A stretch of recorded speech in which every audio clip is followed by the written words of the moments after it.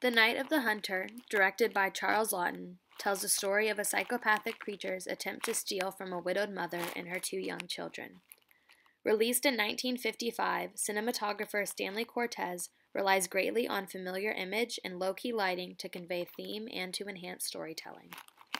Familiar image, defined by Barsam and Monahan, is an image periodically repeated with or without variations to help stabilize the narrative. Much like the deep focus of Charles Foster Kane in Citizen Kane and the repeated speaker image in Bartholomew's Song, Cortez and Laughton repeat numerous images throughout this film. One of the first examples of familiar image comes in the film when we see young John's dad be arrested. He grips at his stomach as if he's in pain, and later on in the movie, we see this exact same reaction from John when the psychopathic preacher, Harry, is arrested. Another familiar image that we often see is Harry lurking behind the fence of either the children's home or Miss Cooper's home.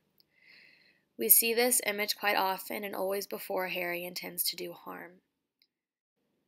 This creepy image helps create the predator like character that is the preacher Harry. Another important familiar image that we see throughout the film is the image of Harry's tattoo knuckles, love, and hate. These are shown quite often and always relate back to the theme of duality that is ever present in this film.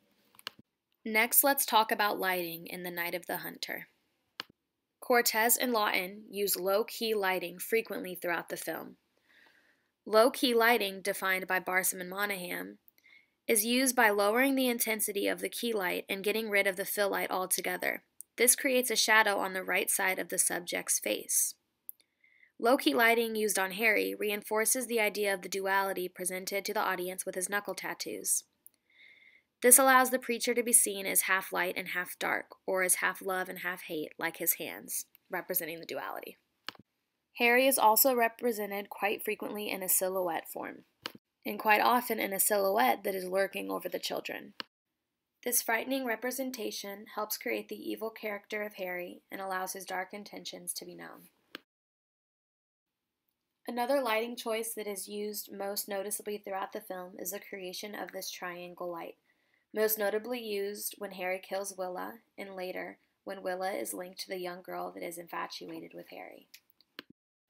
Another character that is lighted in a distinguished way is Mrs. Cooper. From the beginning of the film, Rachel Cooper is lit up almost as an angel, and this serves true to the end when she proves to be the guardian angel for the children. This is also similar to the lighting placed on Willa right before she was murdered. She was lit up in an almost angelic way. In a review of The Night of the Hunter posted on charlotteviewpoint.org, the film is credited for its cinematography, which may be considered one of the cinema's greatest achievements in black and white, according to the article.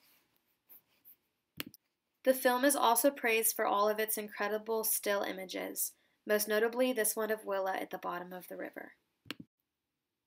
Cinematographer Stanley Cortez reveals that it was a joy creating the night of The Hunter, and many feel that this was his best work.